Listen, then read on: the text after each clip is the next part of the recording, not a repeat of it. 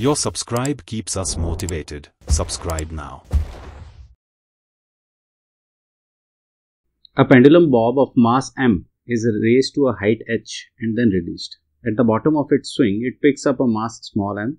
To what height will the combined mass combined mass rise? Okay, so basically what is happening here is let's understand the concept.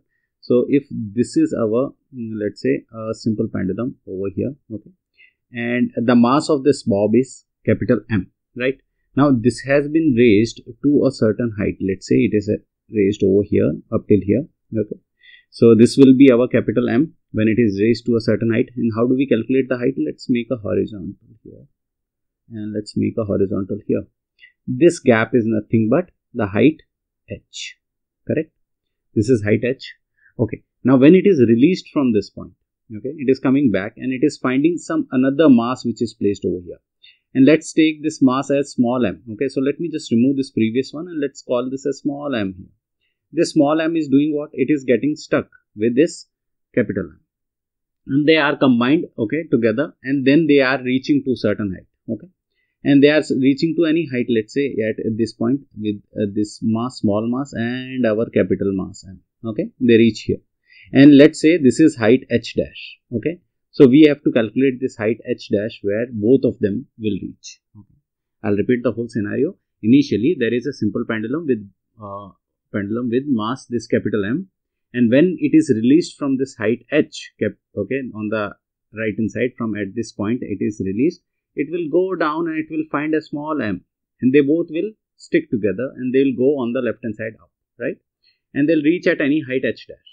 We have to calculate that height h dash right so if this uh, bob is released from this height h okay what will be its velocity when it reaches this small m its velocity will be simple v equals to under root 2gh. So from where you got this? Simply use v square minus u square equal to 2as okay and you will get it. By law of conservation of energy also you will get half mv square equal to mgh you can put and you will get v equal to under root 2gh. So your choice anyhow you can uh, choose that way. So v velocity with which this capital M will reach at this small m is root 2gh. Now what we know from conservation of momentum?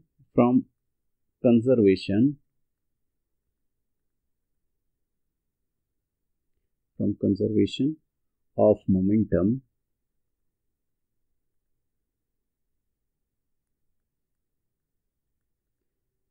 the momentum before collision should be equal to momentum after collision right?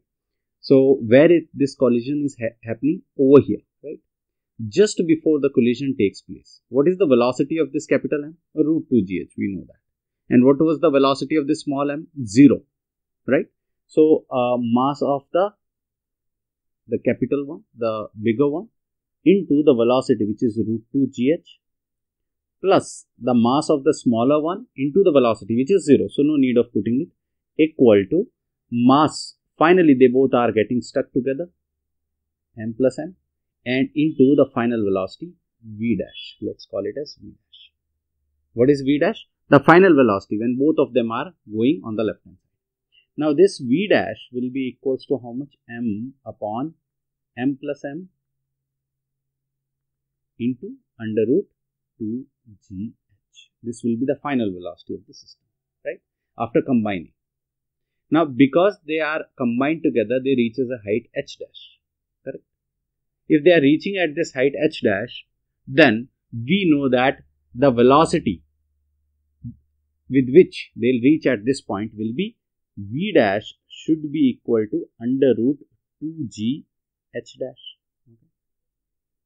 by law of conservation of energy and this we can put it equal to what we got just now. So that is m upon m plus m under root 2gh squaring both the sides what we will get? So let me write here squaring both the sides we will get 2g h dash equals to m upon m plus m 2gh. 2g cancels with 2g and h dash squaring when you are squaring this will also get squared. So let me just rewrite this expression over here whole square 2gh.